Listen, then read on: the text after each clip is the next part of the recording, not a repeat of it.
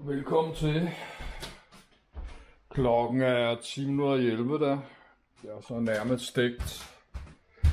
Det er gulerod og løg, og så nærmest blevet stegt en hel time. Ej, de skulle have haft øh, noget mere varme fra starten. De skulle have haft 8. Men det var ikke meningen, jeg ville putte alt det der ost og tomat, øh, det hedder ikke tomatpuré, hvad hedder det? Tomatsauce, bedst tomatsauce. Det er bare den billige fra Lidl, og så en halv pakke grædet ost har jeg puttet på, og så kajris. Men ja, det havde jeg lyst til. Så, men det bliver jo så en kæmpe portion. Men det er jo smeltet lidt. Det skal jeg nok kunne spise. Så var det min idé, at så bare hælde øh, det hele ovenpå her. Yes. Oh, den er selvfølgelig varm, det er klart. Den har stået i ovnen. Så vil jeg bare putte øh, det hele ovenpå her. Det var meningen, der skulle kun være det her. Yes, jeg går i hvert fald ikke sulten i seng i hvert fald. Så lad os skylle øh, stregpinden her. Lad os putte noget mere salt på. Og øh, basilikum i.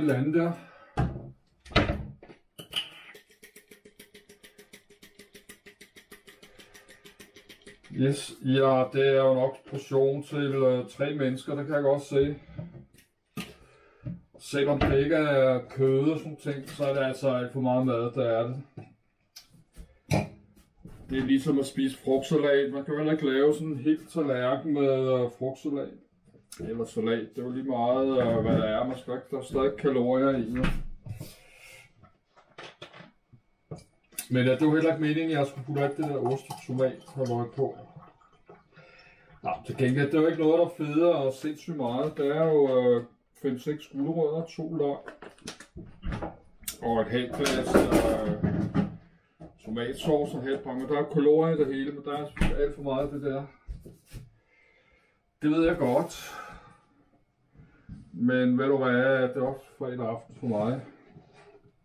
Der er jo nærmest, jeg ved ikke, hvad var der er jo nærmest kilo mad her.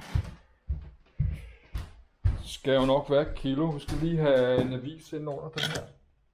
Lige hægte mit øh, vand.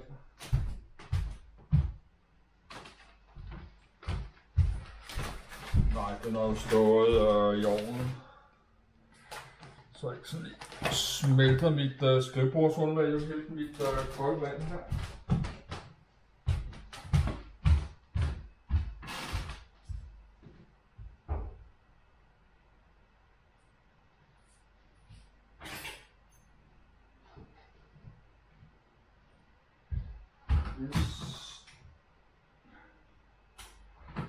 Nej, lad altså os bare, det er sådan, som jeg sidder og spiser her, i dæmpet lys her. Jeg kan nok ikke se så meget her. Yes. Ja, jeg går i hvert fald ikke sulten i seng.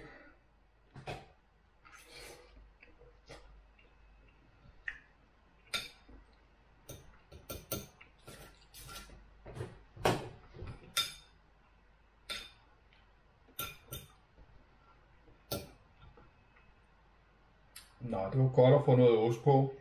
Og ikke bare det der løg og guldrød.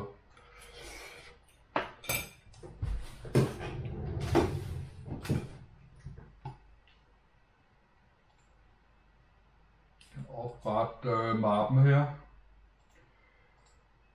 Det er så video nummer 5212.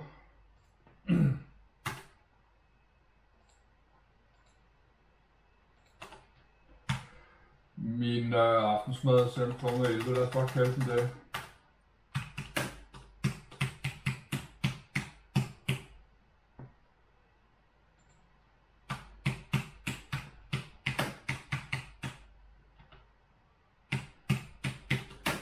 Og tilføjer Dennis Mokbang. Det kan være, det giver på ekstra visninger.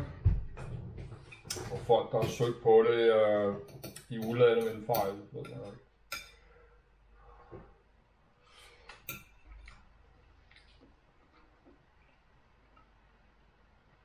Men der er stadig rigtig varmt i min lejlighed. Der er stadig 25 grader. Måske lige en lille smule 25 grader. Nu har jeg selvfølgelig også lavet mad øh, over en time nu, og ovnen har været tændt. Men der er sådan set lige så varmt, øh, som det plejer at være. De sidste 14 dage. Fordi den her, varm, den her lejlighed er altid meget varmere end, øh, hvis der er 15 grader udenfor, så er der nærmest øh, langt over 20 grader i min lejlighed. Altid næsten 10 grader varmere i min lejlighed end udenfor.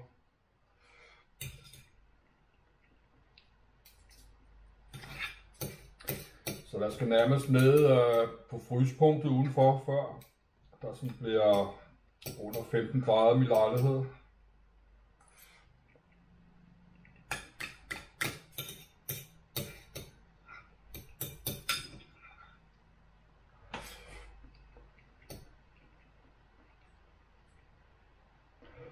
Nej, jeg kan ikke, øh, når der er 25 grader varmt, jeg kan ikke sove under min dyne. Når der, når der er 25 grader, det er simpelthen for varmt. Så.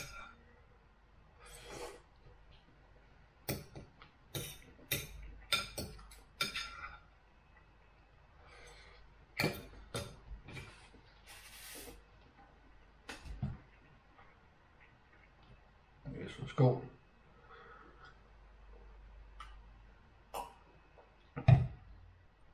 Nej, jeg bliver nødt til at købe øh, godt med mad ind til september.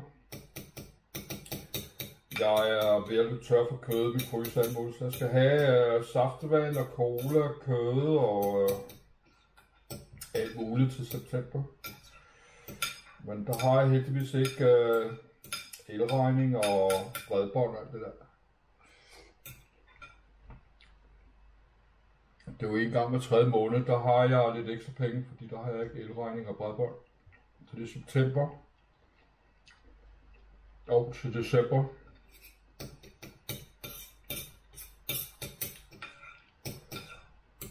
Så det er godt nok, og så er der måske 1000 kroner ekstra til oktober.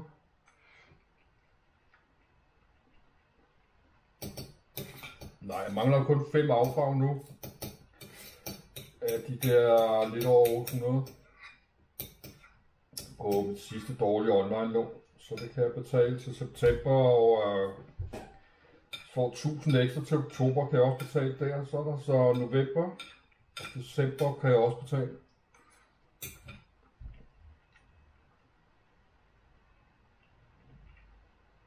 Og øh, så mangler der januar. Så, øh, så skulle der ske lidt mere fra 1. februar. Men der er mange ting, jeg har fået købt. Jeg skal købe noget øh, bukser og noget sports t-shirt. Jeg skal købe noget forskelligt. Og gummisko og jakker og alt muligt. Jeg skal købe alt muligt forskelligt. Alt det jeg har fået købt i mange år. Men øh, jeg bliver ikke sådan rigtig råd. Det er jo ikke meget at have 1000 kroner ekstra om måneden. Det er jo ikke øh, sådan, at jeg bare jeg kan fare i byen hver weekend.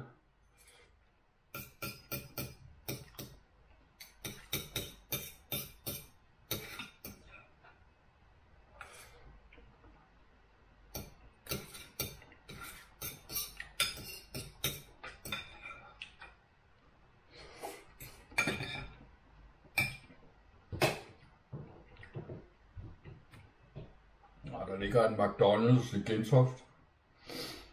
Jeg ved ikke, hvad det er, 5 km herfra, 5-6 km. Det må jeg prøve at komme derud. Jeg skal have sådan en uh, Big Mac, en stor menu. Det må jeg prøve uh, til september, når jeg cykler cykle dertil. Men så skal jeg have ekstra slange med. Jeg skal også have den maske. Jeg skal have den maske med i min rygsæk. Øh, mundbind. Hvis jeg nu skal have en taxa hjem på den måde, så skal jeg jo have mundbind på en taxa. Eller hvis jeg skal med S-toget.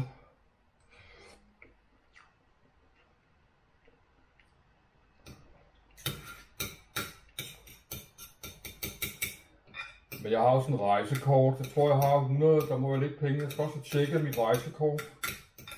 Det er jo så flere år siden, jeg har logget ind.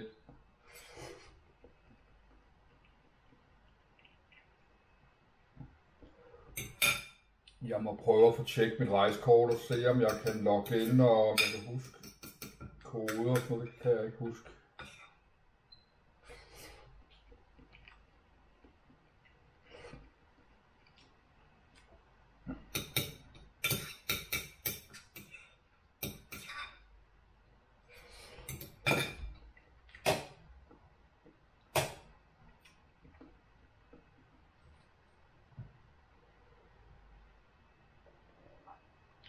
Jeg tror bare, jeg sidder og gumler det her. Det vil tage mig lang tid at spise det her. Yes, godt.